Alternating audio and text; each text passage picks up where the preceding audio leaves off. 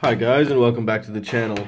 So today we're going to be taking a look at the GepRC MX3 which is also called the Sparrow. This was this has been requested many times on the channel and I got it in the other day and we are going to be building it very soon.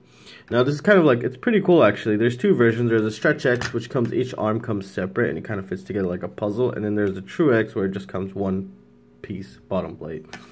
And personally, I prefer the one-piece bottom plates.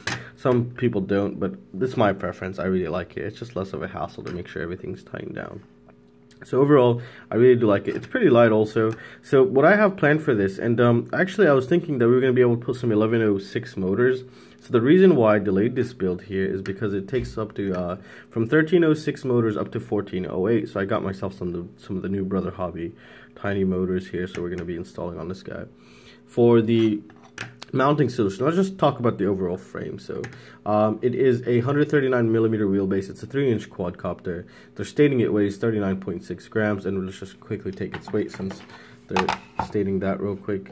And I should have zeroed it out real quick. So yeah, let's see if it turns off here. All right, and we're gonna zero it out now.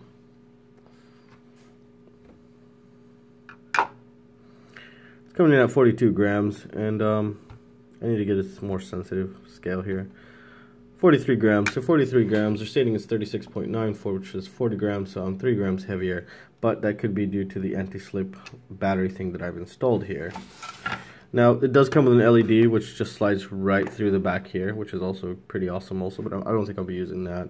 And you do have some kind of holes for your antennas and your SMA if you're going to use an SMA, or you can just route your antenna through here if you're using some kind of dipolar, which is what I'm going to try to get go for here.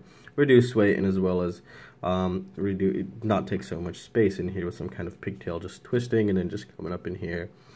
Now, when I first got this, I noticed something pretty cool and pretty awesome, which I really liked. And I think more quads and more frames should be doing this now. If you take a look on the bottom here, we actually have two mounting solutions. We have a 20 by 20, and we have the normal standard 30.5 by 30.5. So if you didn't have a 20 by 20, you could stick a 30.5, just a normal fat ass flight controller in this guy, and it'll fit right, right ahead. However, the camera mounting solution, I believe it only fits a micro at the moment. So I do have a couple Runcam micros and it's going to be pretty awesome. And we're going to check it out. It's the minis, possibly the minis. Yeah, I think this will fit in mini just perfect.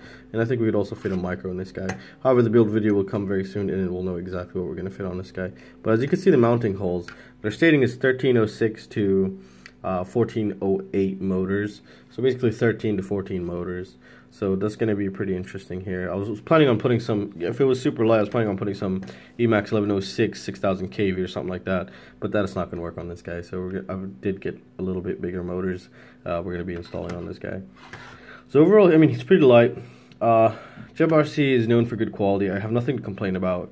And um, this is this seems like it's going to be a good one. I'm hoping it's going to be a good one. I'm going to use the HGLRC XJB, I think it's called stack here, which is the ESC and the flight controller and then that new VTX thingy this company provided me with. It looks pretty cool. Actually, it goes up to uh, 600 milliwatts for a 20 by 20 layout. That's just insane.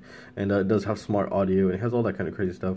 So it's going to be pretty interesting. We're going to be testing it out and um, seeing what's up with it. So um, yeah, well, that's all I really got to say right now, guys. So if you guys have any questions or any suggestions, feel free to let me know. If anyone's used it, anyone's played with it, please let us know down in the comment section. I'm curious and I'm sure others will be also. And that's concluded for this video, guys. So I really hope you guys enjoyed it, and I will see you next time. See you guys. Take care.